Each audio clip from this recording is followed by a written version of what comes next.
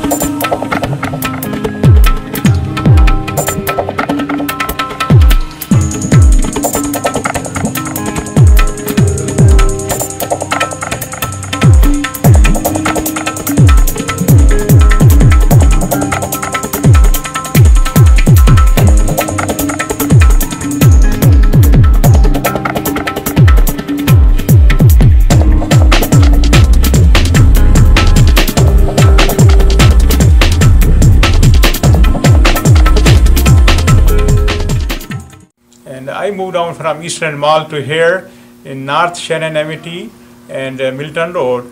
And uh, I opened this uh, store six months ago here, and everything is uh, very unique and different. So please stop by here for the holiday shopping and nice gift here and nice pictures here. Thank you very much and see you soon.